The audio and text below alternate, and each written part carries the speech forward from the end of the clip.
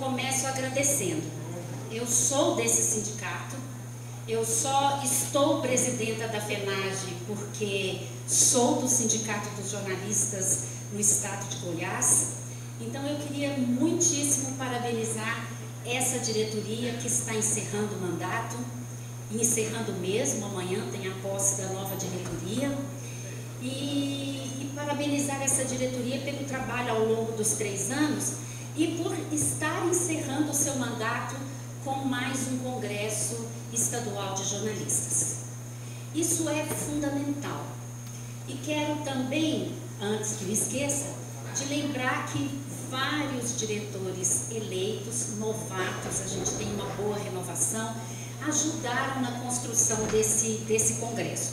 Eu não vou nominar, vou agradecer a todos e todas na pessoa do atual presidente Luiz Espada e na pessoa do futuro presidente Cláudio Curato, que assume amanhã. E agora eu quero dizer da importância desse evento em razão do momento político que nós estamos vivendo.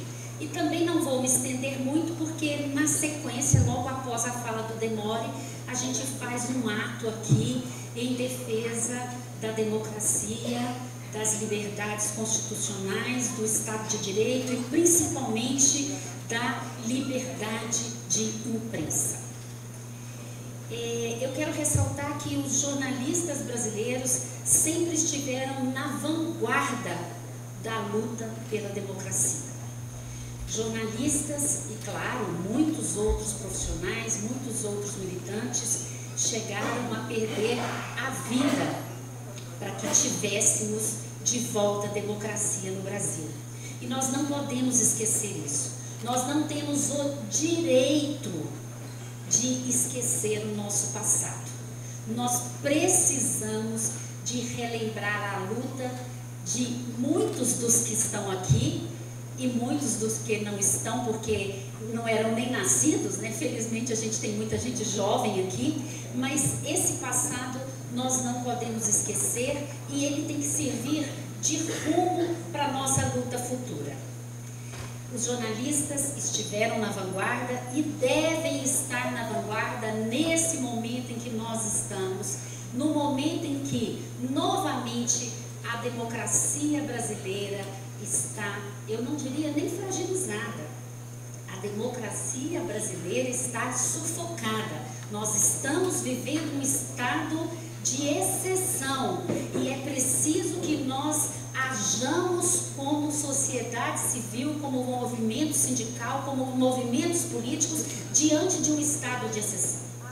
Eu sei que algumas instituições, instituições estão funcionando, entre elas parte da imprensa brasileira, mas é preciso que a gente seja firme nesse nosso momento histórico.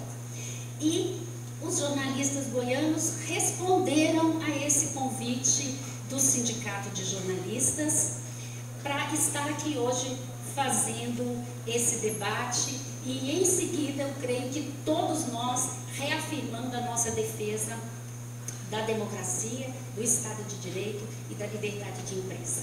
Então, muitíssimo obrigado a todas e todos que estão aqui. É, de fato, bastante importante tantas presenças ilustres que estão aqui, que depois serão anunciadas.